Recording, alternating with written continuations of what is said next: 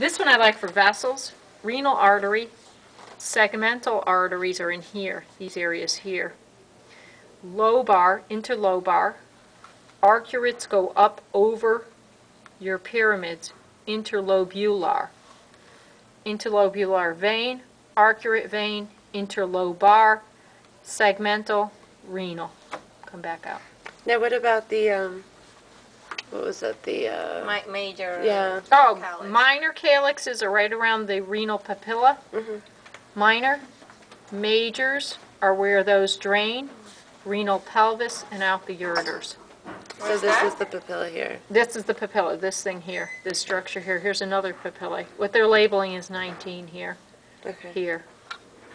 What So is this is, this is a minor calyx. This? Ureter, the- that's your ureter.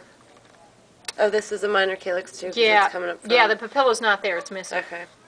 They Gotcha. kind of, they kind of pulled the whole pyramid out. Remember, it said it's kind of like an ice cream cone. If you Mm. pull it out, you're gonna, you're gonna leave this little drain. What's this up here? Adrenal gland? Oh, okay. Yeah, it's just giving you the adrenal. The rest, I think, is pretty straightforward.